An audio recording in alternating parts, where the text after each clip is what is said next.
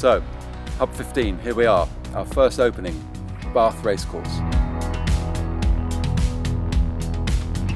We felt Bath Racecourse was the most appropriate course to start our Hub 15 concept for various reasons. The most obvious, just look around. Fabulous facilities, great connectivity, and a really good place where people can come, drop in, and feel part uh, of the Hub 15 community.